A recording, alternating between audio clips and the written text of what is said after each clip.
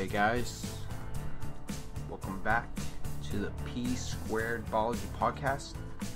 This time I have a guest related to me, my sister, Hi guys. younger sister by two years. And this time, well, I guess it could be called P Squared Biology Podcast because of my initials, but we also share the last name, which starts with a P, so I guess that could mean it this time. You can laugh if you want. Okay, fake laugh. All right. I'm paid to laugh here. nope, nobody's paid. okay, so this time we're talking about memory. I gave Hope a few. Sorry if I use your name right. That's good. We're not giving away last names, but I gave Hope a list of articles that interested me. Apparently, this one interested her the most. But I like this one. Uh, it's about memory and about memory storage and plasticity of memory. They tested on rodents, but you know, rodents are mammals. We're mammals. I forgot to ask Hope, is there anything new and exciting going on? No, I don't think so. Uh, anything new with the kitties? She owns two cats. I have Dexter and Lucy. Dexter just turned three, so happy birthday to Dexter. Wow. I love you. Yeah, they're both pretty cute, but Lucy is the baby, so you know she gets the benefit of the doubt. If they had to eat one of them, oh, I, I won't go into that. Okay, so this paper about memory plasticity, like I said, you know I couldn't find this paper. I really wish I could, but you know I think the Science Daily covers the main points pretty good about how memory is pretty plastic. It it changes, of course. You know you know that hope, right? Like, yeah.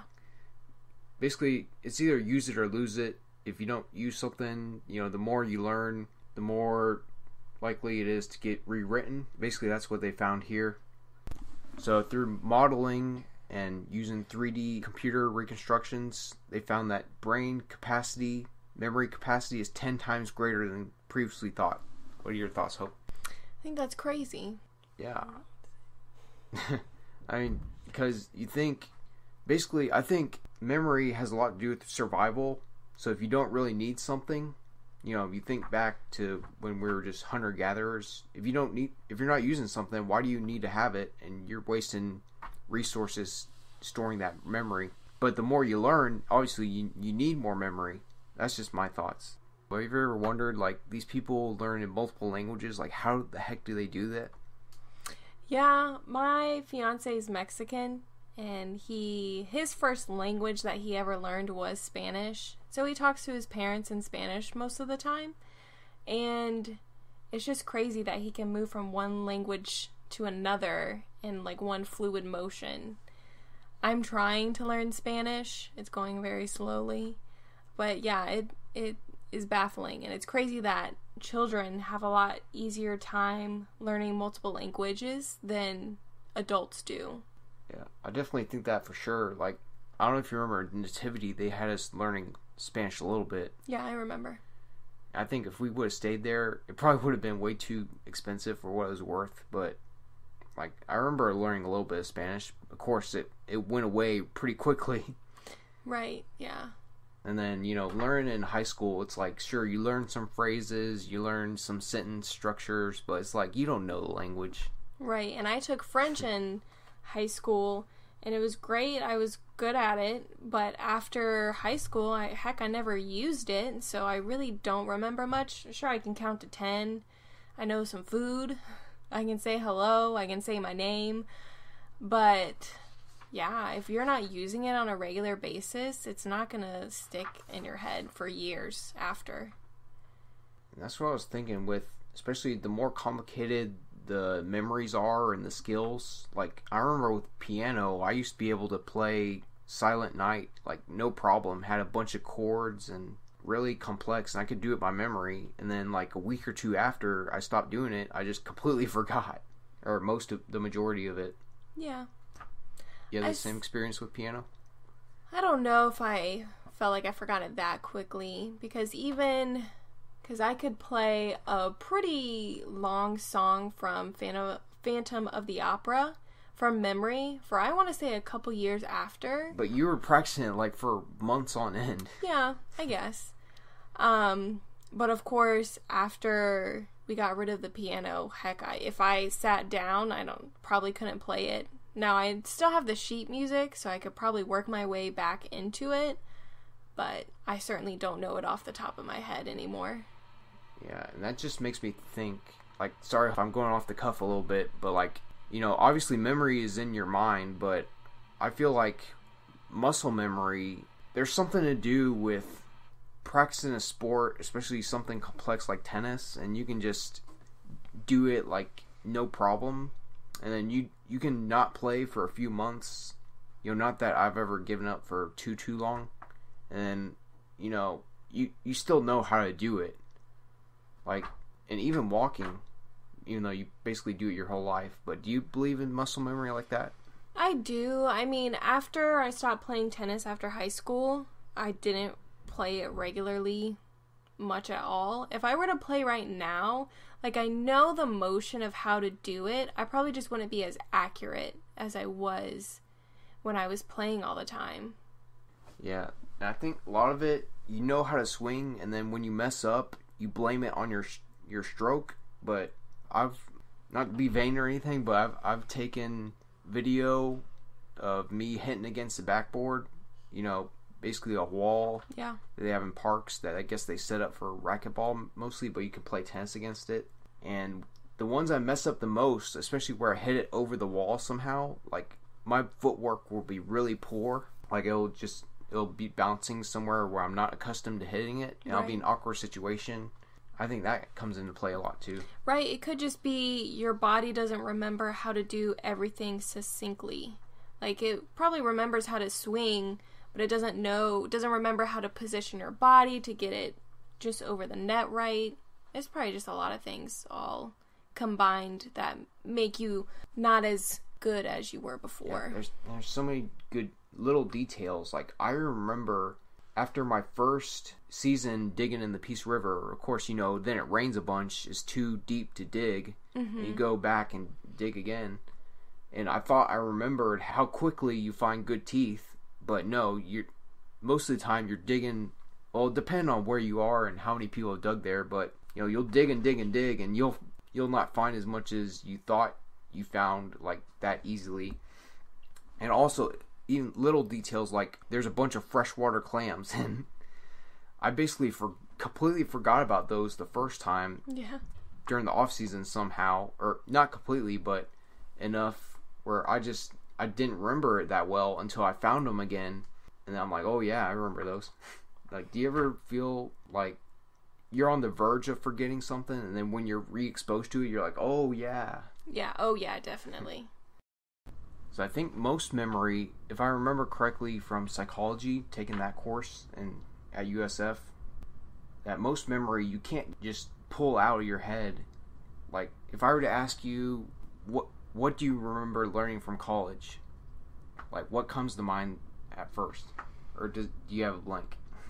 No, what comes to mind, well, I studied economics, so what really comes to mind was my favorite class that I took was called Economics of Crime so that probably is what comes to my head first. Or is that what you enjoyed the most? It's what I enjoyed the most. It was one of my favorite courses that I took. Sweet. But, I mean, I'm sure doing anything for four years, something comes to mind. But, you know, just putting people on the spot, obviously, sometimes your mind has a blank. But you you remember the stuff, but unless you really go back and look at the stuff, like I remember for organic chemistry, I felt like I barely understood that much. But then when I looked back at the notes, I was like, oh yeah, I remember really trying my best. But it, that was basically like another language. And the professor, I don't know if you ever had professors like this, but basically, you know, the course is hard enough, you know, with all the chemical reactions. And right. they say not to memorize the reactions, but memorize, or I guess learn the ways that certain reagents react with other reagents. Mm-hmm. And basically I was memorizing the chemical reactions, whereas you're supposed to be memorizing the steps or understanding the steps. And that's basically how I almost flunked it. And I because there were some quizzes, you know, of course, most of the scores came from the test, but some of the quizzes I got zeros on, and that's the only course I've ever gotten zeros on a, an assignment. Jeez, yeah, yeah, it was it was a beast. But then I look back at the notes or the past exams, even though I got really poor scores and only passed because of the super generous curves, because basically everyone's failing. But I look back in the notes, I was like, oh, maybe I did know a little bit, enough to to get by. Well, yeah, that kind of reminds me when I, because in high school I took AP microeconomics. Unfortunately, I didn't pass the AP test, so I had to take it in college. But the professor that I had was a graduate professor. He was just teaching a beginner level course over the summer, and he was from Russia. He had a very thick accent, and he went through the material pretty quickly. And it was because it was a summer course, so we had less classes. But a lot of the kids had a lot of issues with that class. But since I had taken the AP course to it previously, like when he would go over the information in the lectures, sometimes I would be lost. But once I would go back to the textbook, I would know exactly what was going on because I felt like I remembered it from high school. So I get what you're saying. Yeah, I, I think memory has a lot to do with getting proficient at something because I remember AP English in college wasn't that hard on me at all. Hard for You me at in all. high school? No, high school sucked because I had a hard time writing for some reason. Like, even throughout elementary, like I would just stare at a topic and it would take me at least like 15 or 20 minutes before I started writing because I had to have like a brainstorm or get ideas to paper and then I'd be rushing to the very last minute after I started writing. I don't know if that's how you did it at first. Or did you do like a constant steady pace? I feel like I did a pretty steady pace. I would jot down my ideas on paper first and then just kind of work off of it. Yeah, I don't know. Like even doing this talk, like it, it's a little bit nerve wracking more than I thought. Um, but once you set your mind to something and get your memory, rejog your memory as I'm looking at my notes. But basically, the point I was trying to make was basically I think I had the memory of how to write, and I don't know if your college English classes were like this, but basically you were talking about your experiences, at least in the beginning of it Yeah. that made me kind of nervy. But then I was like, hey, I know how to write. At least I didn't pass the AP courses somehow, but I could just relax a little bit and have some fun Right. I, I knew how to write. Oh well. I was taking a little break, look at my notes again. My sister brought up a great point how memory isn't as set in stone as we think it is. And basically, when we remember something, it's most likely we're not remembering the original memory, we're remembering the, the last time we remembered it, correct? Yes. Which is crazy. So I feel like as soon as I learn that, every time I think about a past memory, I try and think in much detail of that memory as possible. Because in my opinion, I don't want to lose any any details of my past. I don't know.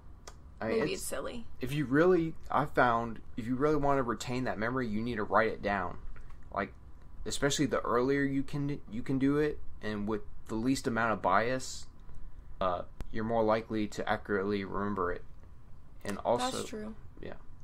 It's kind of the same thing with dream journals. I remember having to do one for a psychology class, doing a dream journal, and the teacher always said, have your notebook right by your bed so you can recall as much of it as possible. Because I'm sure everyone has had a dream and you wake up and you're like, wow, that was a crazy dream. And then when you try and tell someone about it later, you really only remember maybe a fourth of it. And it's kind of disappointing because it probably was a great dream. Yeah, I was just listening. There's a great Joe Rogan podcast about dreaming, and basically, yeah, you forget it really quickly when you wake up, and that's that's what sucks about it. But it's just the way it is. And apparently, the same holds true when you do drugs, like certain psychedelics. you only retain the memory so long.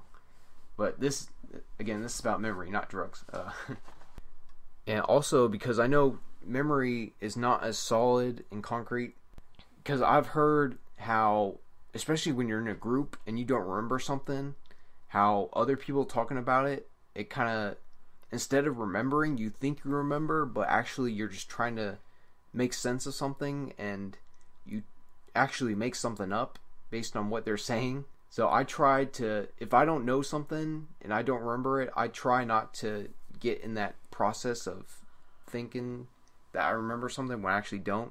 Like, do you have any, any experiences with that? I don't Not to put you on the spot. I'm just right. wondering. I don't think I personally remember anything, but yeah, like group think is is group think the same thing.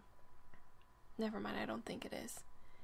I, I think it does have something to do with it. How groups, because you know, individuals are pretty rational, but once you're in a group, you're much more likely to behave irrationally. Yeah.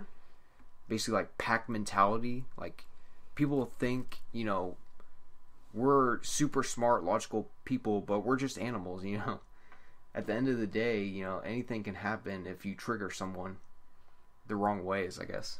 Yeah. But yeah, even like the Mandela effect, where they remember something, and they definitely they think they remember seeing something or hearing about something in a certain way, and you know they say, "Oh, some there's a glitch in the matrix because I remember something happening this way for sure, but it was ac- actually from the start it was something else." Right. And I think honestly it has to do with what we see in media or even in movies on TV and just how we talk to others about these certain things that can m- morph how we think we remember them. I think it, it's mostly to do with convenience. I think because like people with the show Sex and the City, they remember in the city, and also with like Star Wars, they remember Darth Vader saying, "Luke, I am your father," not "No, I am your father," because it's more convenient. Is, it not? Or I think it's someone made a mistake of saying the quote, or someone that's never watched the show Sex and the City. If you hear someone talking about it and they say the name quickly, it probably sounds like Sex in the City. Yeah. And so you just remember it incorrectly because you didn't recall it correctly the first time. And you see what I'm saying. Yeah.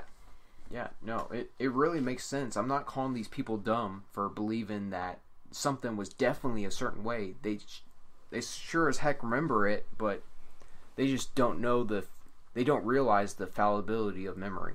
Right. And I actually have some good examples of that effect if you're okay with Yeah, me quizzing sure, you. go ahead. All right. Do you remember on the brand of cereal, Raisin Bran, how it has a sun? Um I'm pretty sure it does. Did it? It did. It did have a sun. Do you remember? Does it have sunglasses? Yeah, I'm pretty sure it does. Well, that's incorrect. What? I did too. When I saw that, I was like, no way. It never had sunglasses? Never had sunglasses. Or another one, the Fruit of the Loom logo. hmm Y- you know, it has some fruit. Yeah, it's like grapes, a banana, and apple, right? And does it have anything else in there? Grapes. Do you ever remember it having a cornucopia behind all the fruit? What color is it? Brown. A cornucopia, the little horn basket that they have. It's mostly around Thanksgiving. No, I don't remember that. No, okay. I felt like I remembered it, but apparently it never had a cornucopia behind it. Oh, wow. Um, another one. I feel like I'm talking about a lot of logos. Um, no, that's fine. Tony the Tiger. Yeah. You know what he looks like? What color's his nose? I don't know. Do you remember? Yeah, I remember. But what what would you think? Looking, remembering the image of Tony the Tiger on the cereal box. What color? I think it's the color of his skin, just orange, right? I mean, but what color are tigers' noses? They're not orange. It's not realistic. It's a cartoon tiger. Yeah, but okay. Well, I guess you don't remember. But most people would think that it's black, like it's stripes. Okay. But actually, Tony the Tiger has a blue nose. Blue. Blue. Blue. Wow. Look it up. um, here's one that's not a logo. Okay, do you remember Koko the gorilla? Who that is? Yeah. Koko the gorilla was the one that had the kitten. hmm Do you remember when Koko died?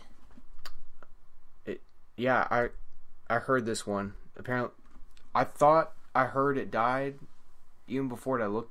I found this one online, but yeah, I know it's it's not true, right? Right.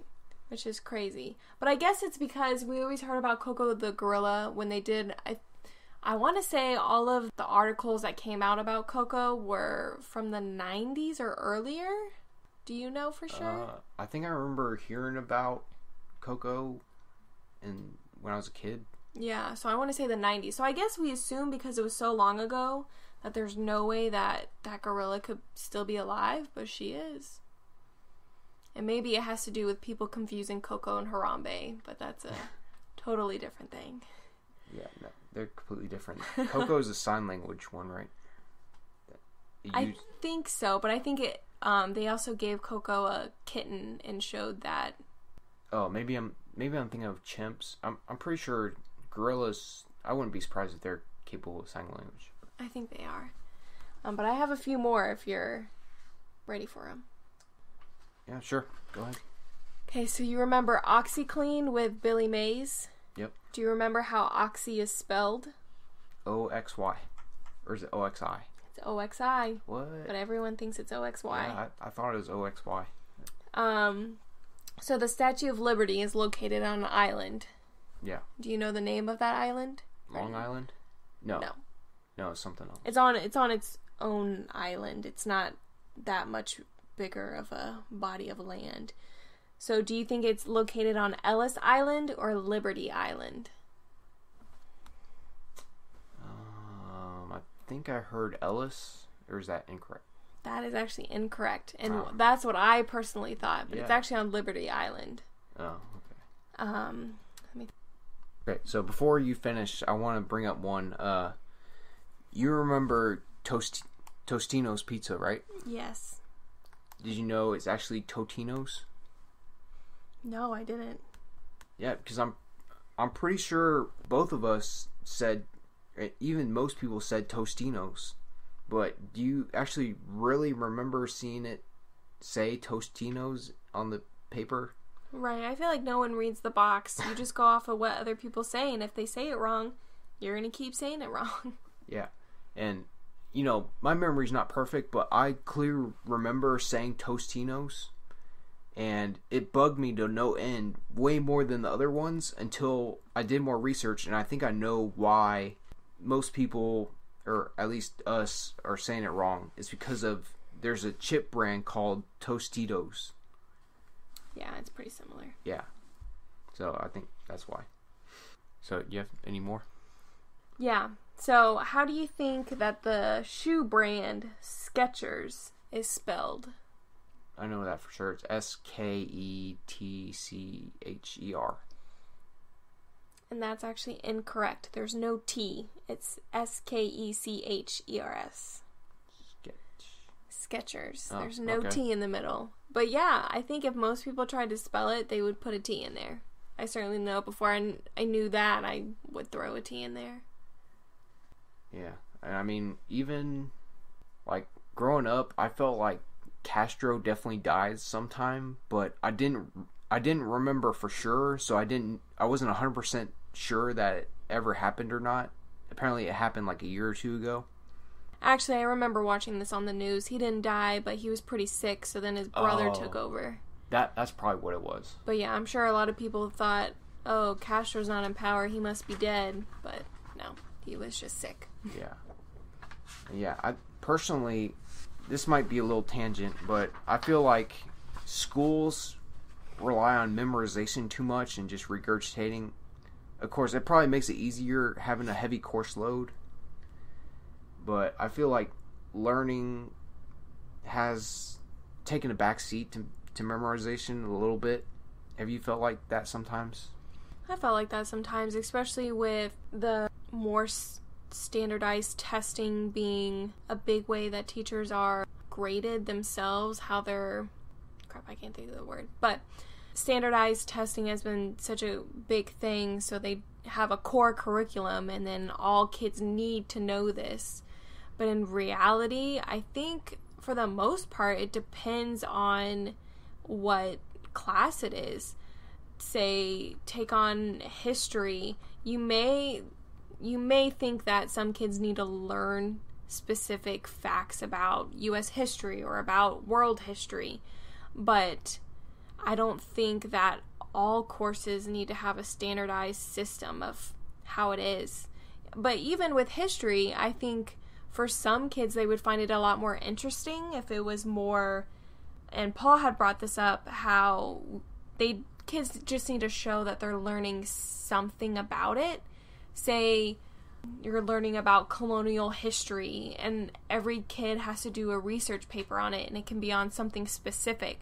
Some kid that likes um, weapon history can do a report on weaponry in that time period or someone wants to talk about the religions of that time period and someone else wants to talk about the fashion of that time period or um, the customs of that time period i think it, learning should be more fluid than what it's becoming Yeah. You know what they some people say actually why we have standardized testing is because the government is trying to control what we think.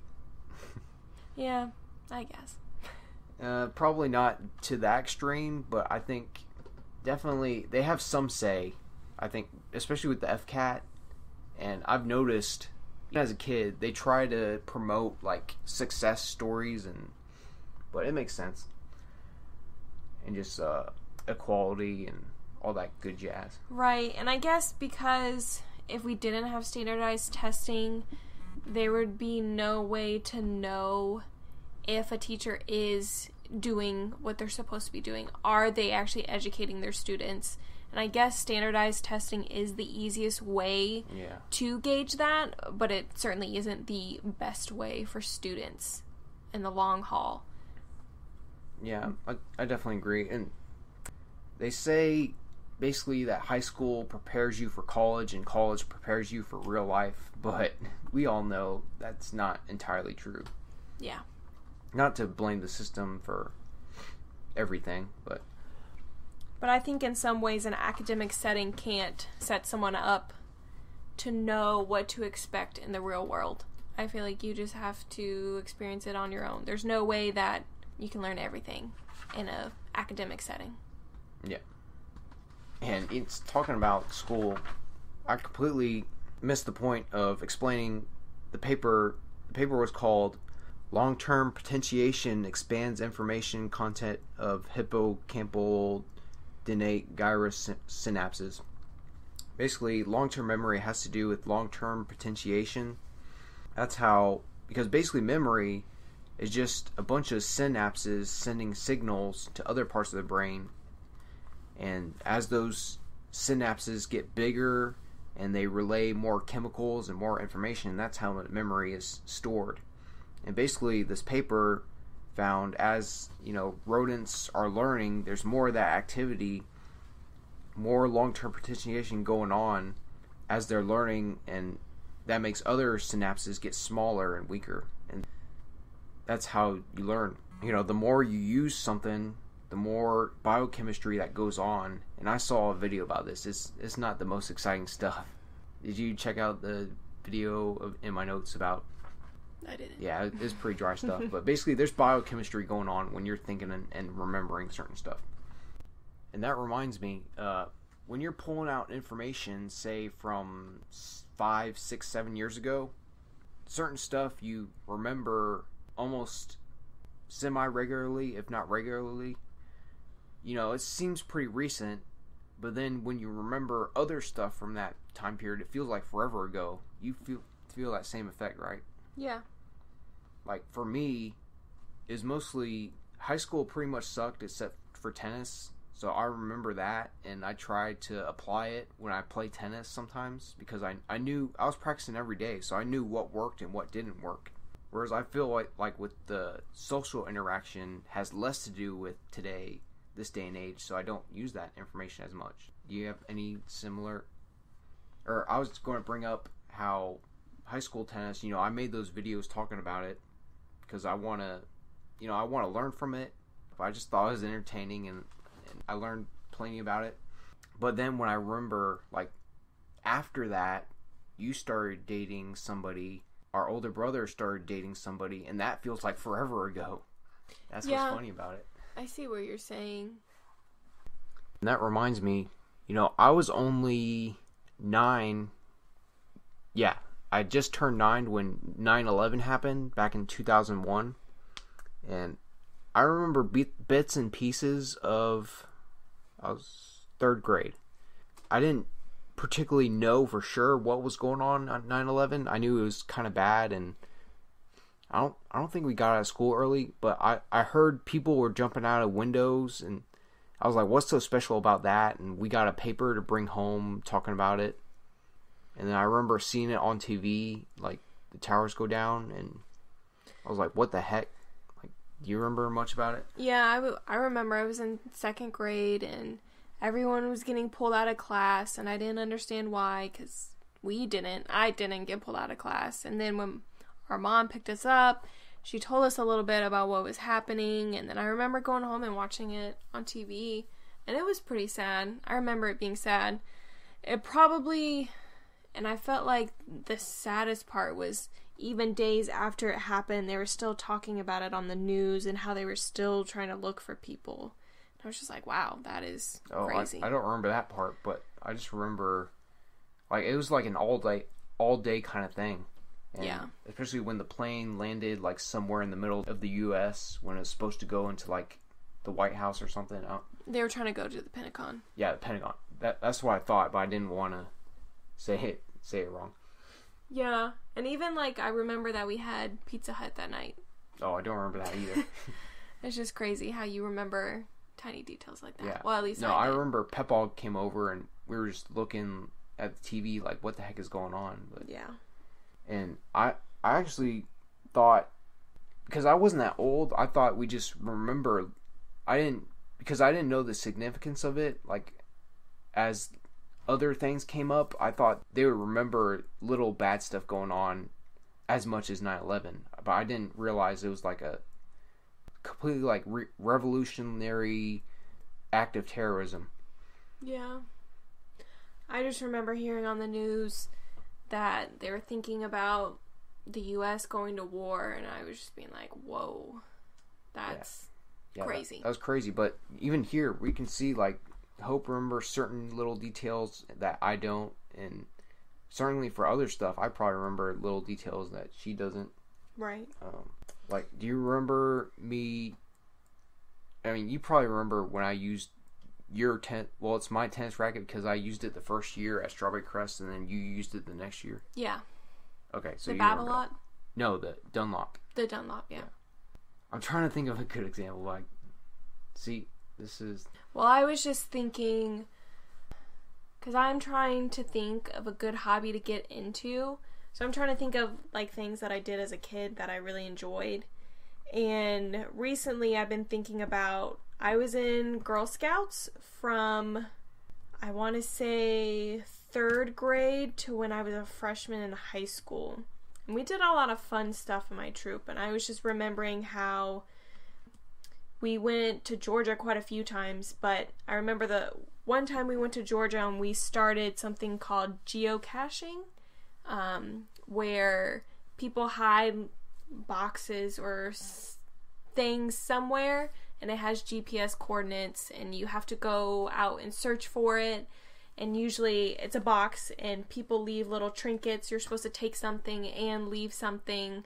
A lot of times there's a little book in there so you can write your name and that you found it, like write anything you want in there.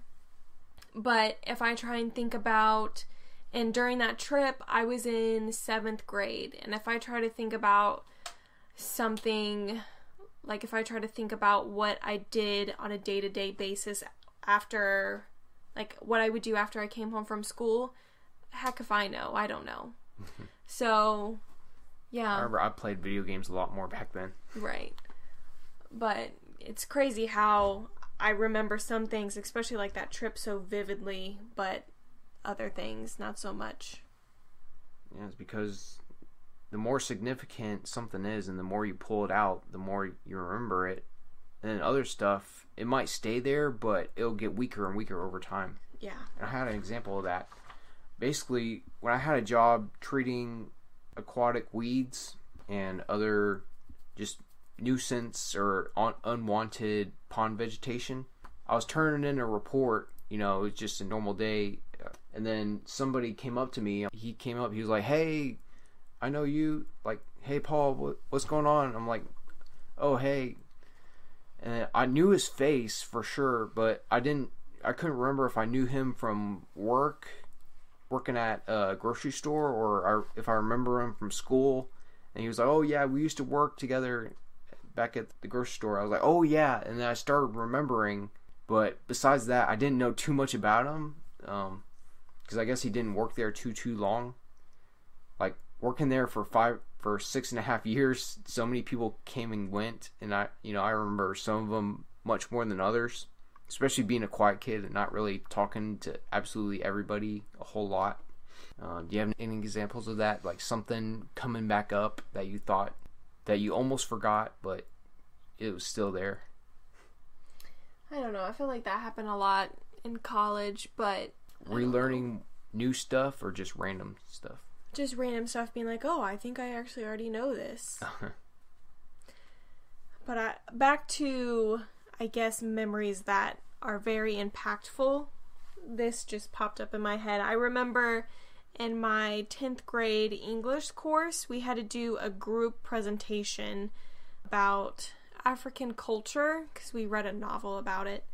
Um, but when every everyone had a speaking part during the presentation, of course, and everyone that was watching had to give comments, at least one comment about every person that spoke. And then at the end, you got all of your comments back about yourself and you had to read over them. And I just remember one of them being so I wouldn't say hurtful, but I was just like, wow, someone said this was their only comment on the piece of paper was very forgettable. And I was like, Wow. Wait, this Okay.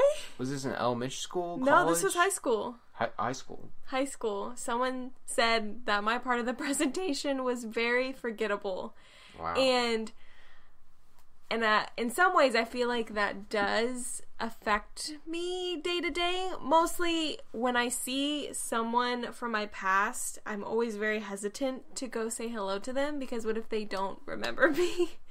And I know that's so silly and so stupid, but I feel like that one little dumb comment that someone wrote about a presentation that but that how- has that doesn't say anything about your quality of the presentation. Maybe they No. were just super tired and they say, "Oh, because I don't remember what she said, it must have been bad." I don't know. but and heck, I don't even remember what my part of the presentation was on. But I certainly remember that comment. Wow. Yeah, psychology is weird. Like, I mean, it makes sense the more you think about psychology, but yeah, memories are more weird than than we realize. Kind of that's like the main tangent of this. We're saying about how memory is weird, but it goes to show like memory is is it changes all the time, and you know if you don't reinforce it, or just even talking with other people, like when I'm with my family and we're talking about uh, bachelor parties, you know, or just going on road trips, like they remember certain stuff that I don't, and yeah, it's crazy. Yeah, at least for me, what I found is, you know, especially doing fossil hunting and learning a bunch of stuff about that and learning about animals. I mean, taking notes helps, but I think the more I understand something, the more likely I am to retain that information. Because I remember I had to memorize a lot of stuff in calculus and physics and chemistry because I didn't fully understand the the mechanisms of how they work. So I had to memorize some formulas and all that stuff. So if I took a test, you know, I'd probably flunk it. But you know, repetition is probably the main key, along with understanding something and having maybe having a mnemonic device like you know like an acronym like Roy G. Biv for the Rainbow Cone. yeah that's really good But yeah, I definitely agree with repetition being the key to success, at least for me. Um, I remember in elementary school having to do spelling tests. I was terrible at spelling because I could never sound out words in my head. It was just difficult for me. So I remember having to have my mom quiz me every night before the test. I would always get hundreds as long as I did that. but it would just I would just need like 30 minutes, 30 or 40 minutes of working to get it really into my head. Yeah, yeah, because every time you make a memory, you're making a pathway, and where the the transfer of communications happens, and there's plenty of biochemistry with the signals. But there's some little things I'm surprised I still remember, like that Skyrim came out on November 11th, 2011. Obviously, yeah, I know it's funny. It's stupid, but it makes sense because I don't re- originally remember it. I remember being on Reddit and somebody bringing up the topic was what will you never forget, and that just like set off a light in my head, like oh that makes sense, and then just out. I think memory is really selective, but probably as a consequence of just something making so much sense that you just at least for me, I don't tend to forget little stuff that really makes sense. Like also the Spanish word for always is siempre. And yeah, I I can't really speak Spanish that well. Maybe if I practice it more. But um and the way I it didn't mean seem to make sense like siempre, always, like those are two completely different words. So I was like, "Hmm, how can I remember that for uh, just writing something or for a spelling test or not spelling test, but just for like a general quiz or test. And then I realized that it kind of resembled the word Sampras. And if you know about tennis, Pete Sampras was one of the greatest tennis players of all time, or at least for the 90s. So he pretty much always played great tennis, and that's how I remember it. That's how I still remember it to this day. You know, that was 10 years ago that I, I took Spanish, or 10, 9 or 10 years ago. Are there any French phrases you you're surprised you still remember? I know that the number four, well, I'll count to four, is un, deux, trois, quatre, cinq. Well, that's five. That was to five. But um, I remember my French teacher talking about how the number four sounds like the word cat. And I love cats. So I always forever remembered that. Which sounds really silly, but.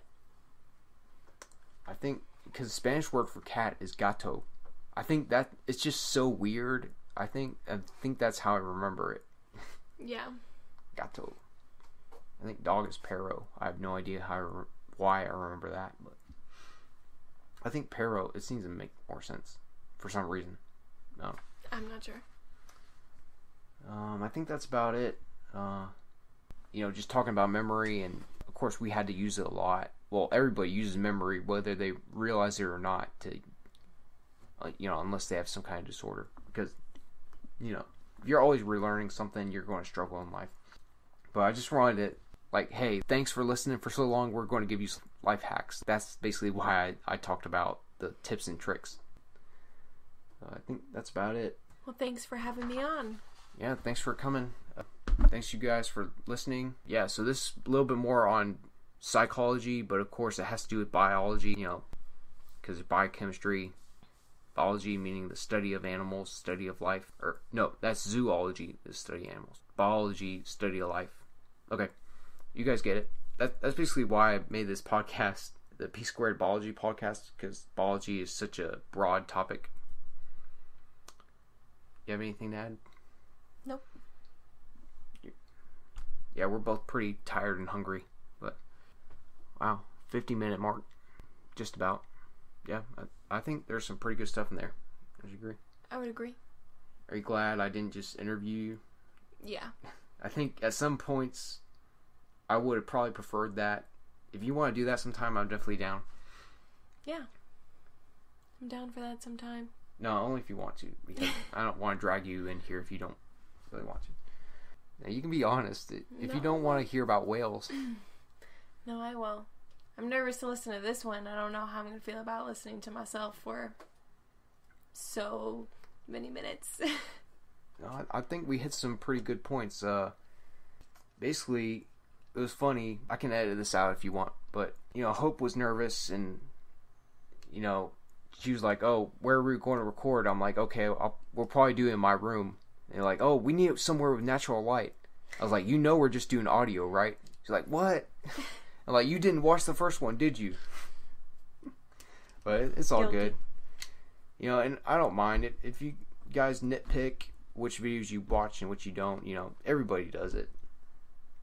I mean, it even surprises me sometimes. Like when I see how many YouTube videos I made, I'm like, man, I've wa- I'm wasting a lot of time on these videos. It's not wasting time. Yeah, if you're having fun, I don't I don't think you're necessarily wasting time. No. Even if no one watches it. Are you hoping that nobody watches? it? No, I want people to watch it. Nah, I'm just I'm just kidding. But yeah, as long as you're not hurting anybody, you're having fun, you feel like you're getting somewhere. That's the main thing. Just staying positive and just moving forward. Yeah. Again, if you guys have any questions, suggestions, uh, For future topics. exactly. Like I say, basically at the end of pretty much every video, comment, like, subscribe, and uh, yep. Uh, see you guys around. Yep. See you next time. Basically, give them time to listen to the awesome dog song. Thumbs up for the dog song. Yep. Alright, see you guys.